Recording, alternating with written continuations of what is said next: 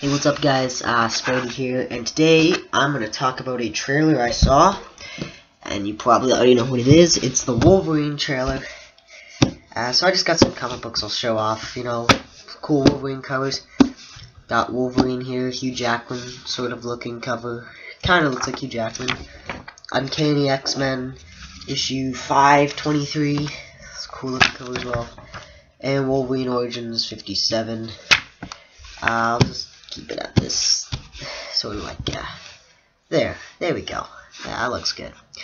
Anyways my thoughts on the trailer uh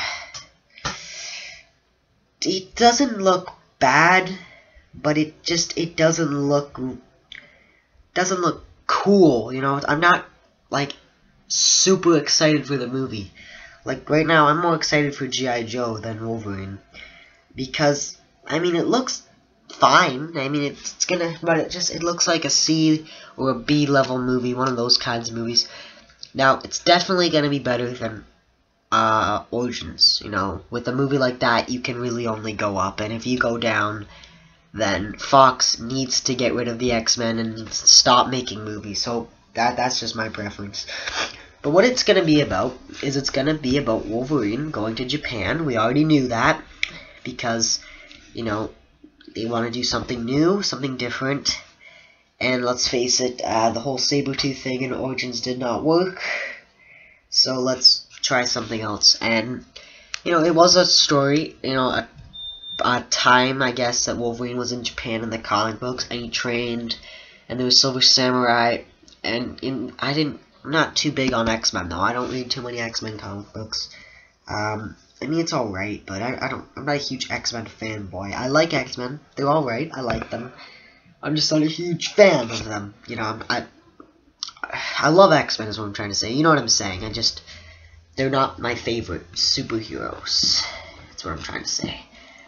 But anyways, so he's going there and forget that freaking, uh, his teacher's name, Oku?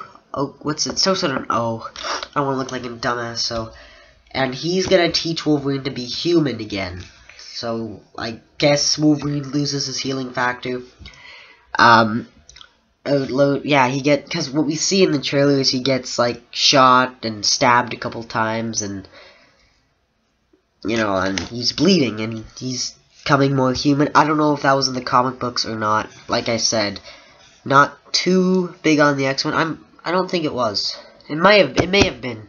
I just don't want to look like a dumbass. Um, I'll look it up later, but... Anyways, probably the coolest part for the trailer, for me, is when the guy cut him in the face with glass, and he said, that hurt!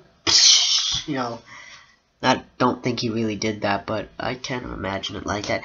Anyways, my thoughts on the movie definitely does not look like it the best superhero movie that's coming out this summer. And, uh, I mean, you know, what you got movies like, uh, Iron Man 3, Man of Steel. What other movie does Marvel have? They got the Wolverine. Oh shit, what other movie was there? Crap, I can't remember. Damn it. Okay, anyways, guys. I'm going on. Anyways, uh, my thoughts on the trailer. It's alright.